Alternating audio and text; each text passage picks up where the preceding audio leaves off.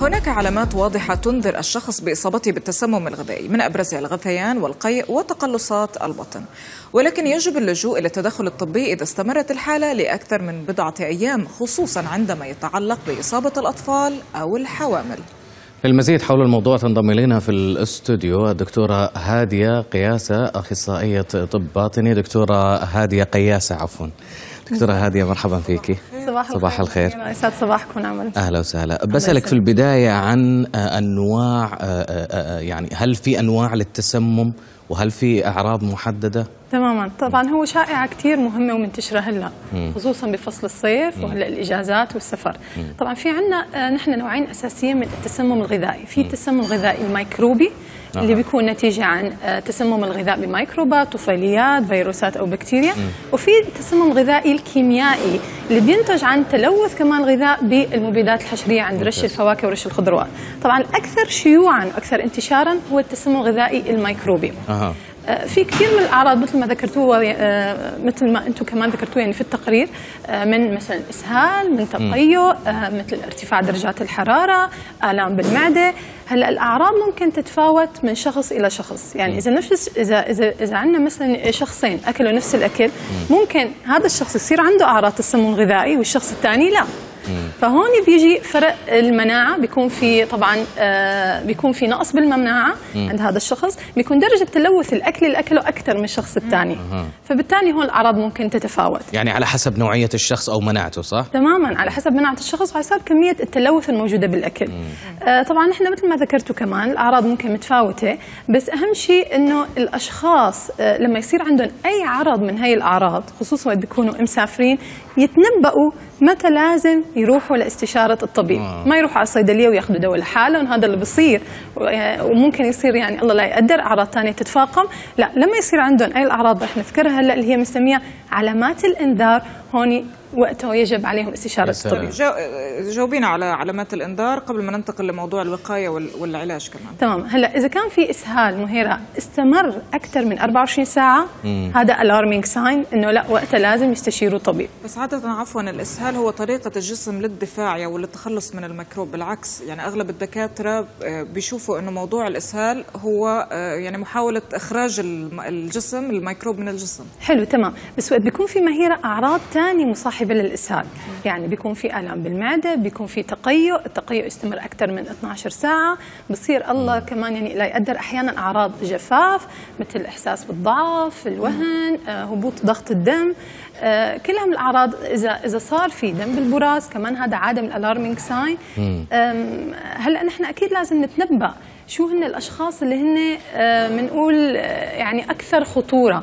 مثل ما ذكرتوا يعني بالتقرير كمان مهير وعمر إذا كان في حوامل طبعا هو الحوامل هي علامة خطورة لازم نحن آه. مباشرة نلجأ إلى استشارة طبية ونأخذ العلاج اللازم الأطفال أو الكبار بالسن كمان هون أكثر عروضة إنه هي الأعراض اللي ضعيفة. ذكرناها تماما ممكن يصير عندهم مشاكل طيب الغذائي. كمان يعني خصوصا للناس المسافرين الآن يعني في بعض الناس مناعتهم تكون خفيفة أو مناعتهم مش بطالة بينما أنهم أكلوا شغلة معينة عليها ميكروبات كثيرة وتعرضوا لتسمم غذائي في في وقت السفر بالتحديد إيش الطرق السليمة إنه بحيث آه، يعالج نفسه بأسرع وقت ويستمتع بما تبقى من من رحلته تماما هلأ بالنسبة للأعراض إذا كان في بدءة الأعراض تبع التسمم الغذائي ننصح دائما بشرب كمية من السوائل السوائل سواء ايا كان آه، خصوصا الماء تحديدا. آه.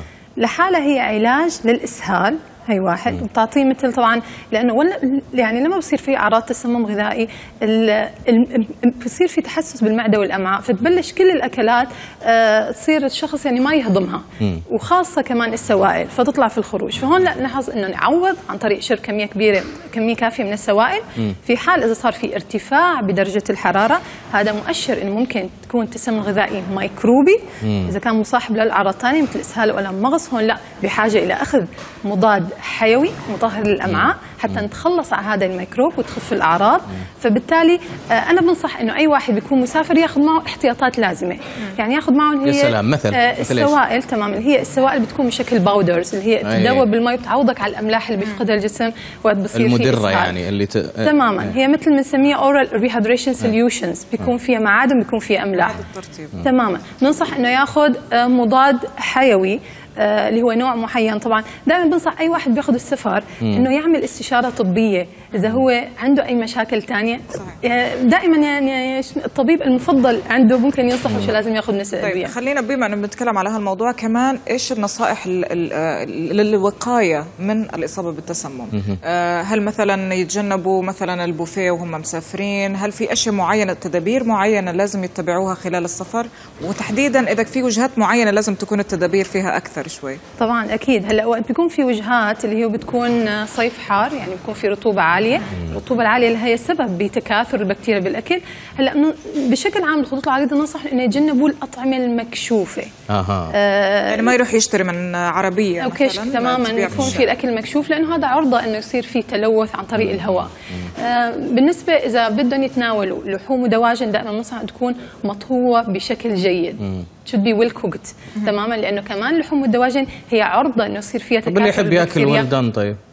ميديوم ويل سوري مش في السفر ميديوم. ما ترجع. ميديوم ميديوم ويل مرة تنسينه لا بالسفر لا ميديوم ولا أوكي هي اي ثينك رير ميديوم تماما إيه هلأ نحن بنقول له ميديوم تو ويل كوكد آه، تماما. بس بشكل عام المكان اللي أنت عم تتوجه له لتناول الأكل كمان. يعني يكون من الأماكن ال- بس دكتورة أنا مثلا في قصة عرفتها إنه آه، أوكي انتبهوا للأكل بعدين صابهم تسمم من إيش؟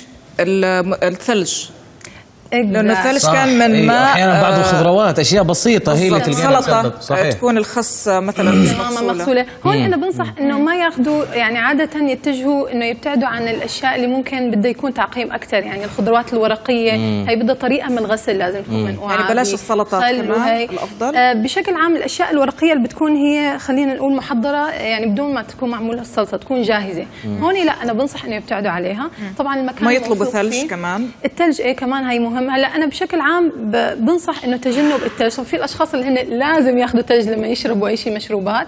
بس طبعا هون آه، بيعتمد على يعني مثل ما قلت نوع ال- المي المأخوذة والهي. هلا بشكل عام آه، الأطعمة المكشوفة الأطعمة النية هي آه، فيها زيادة بنسبة التسمم. الأغذية المطهوة جيدا هون نحن لازم نتجه خصوصا. الأماكن ال- أو الوجهة اللي فيها رطوبة كثيرة أو تماما أو. تماما تماما. بالإضافة أكيد إلى نوعية المي اللي بتشربها دائما يكون عندك كمان مي معك دائما. إذا بدك تغسل شيء تكون في شيء. علبة معقمة وأنت عارف من وين شاريها. شكرا جزيلا على هذه النصائح من الدكتورة هادية قياسة أخصائية طب باطني للتجنب وعلاج التسمم الغذائي شكرا جزيلا. شكرا يا دكتور يسعدكم شكرا لك.